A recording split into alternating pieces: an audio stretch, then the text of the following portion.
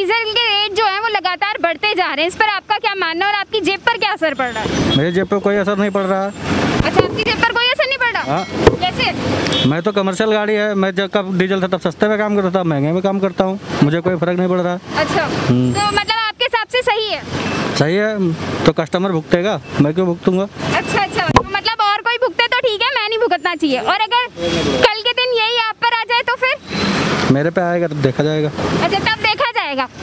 Government से क्या उम्मीद करते हैं? किसी तरीके से बढ़ाती रहे। और मैं जो उसकी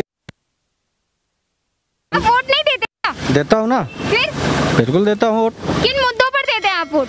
मैं? हाँ जी। अभी तो ऐसे दे दिया करता जो किसी ने बोल दिया वो दे देता हूँ। अच्छा जो किसी ने बोल दिया वो दे दिया। अपने अपने मत से नहीं देते। ऐसा क्यों? अब ऐसा कैसा वो तो मेरी मर्ज़ी है। अच्छा। और बीजेपी का लगता है? पता नहीं। पहले भी ऐसे था अब भी वैसा कुछ फ़र्क नहीं है। अच्छा कोई फ़र्क नहीं है। महँगाई पर कोई फ़र्क नहीं लगा? नहीं नहीं वो तो कोई भी रहेगा महँगाई बढ़ेगी।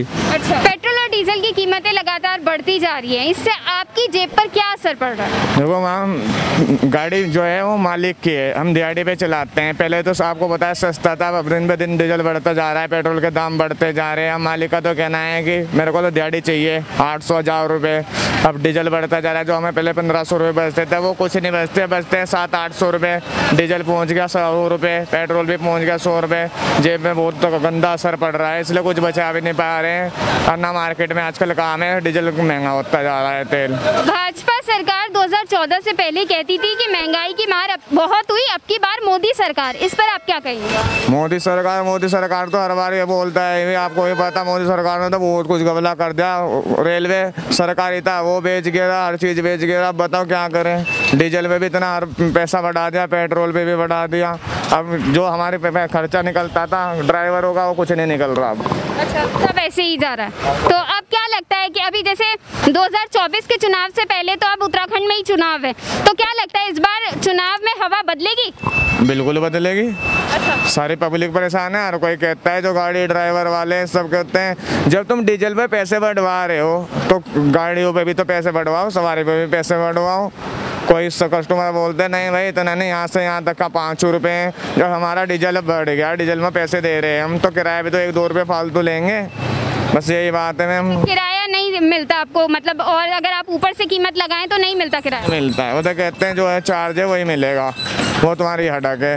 आठ सौ रुपये शाम को मालिक को चाहिए दो हज़ार कमाए। आठ सौ का तेल चला गया दो सौ रुपये भी बच्चे वाले आदमी कहाँ से ले जाएँगे? दो सौ रुपये घर में क्या खर्चा चलेगा? अच्छा दो सौ रुपये बच पाता है। और पहले कितना बचते थे आपको? पहले तो हज़ार पाँच सौ सात सौ पंद्रह सौ रुपये बचते थे लंबे रूट पे। लंबे रूट पे गाड़ी जाएगी तो कम से कम तीन हज़ार का तेल चाहिए। वो तेल है हमारा। गाड़ी अपनी मालिक गाड़ी दे रहा है। वो सब कुछ मालिक के हटा के उसे शाम को हज़ार का नोट चाहिए दो पाँच पाँच सौ के। और तेल गाड़ी में पूरा फुल चाहिए। अब तेल फूल कराएँगे हम, वो तो तभी देगा गाड़ी। अगर तेल नहीं डलवाएँगे, वो कहेगा, भाई तुम कहाँ ले जा रहे पैसे? तेल फूल कराने के बाद वही बचते कभी 200 कभी 300 आदमी का भी खर्चा है, फिर देखो उसमें।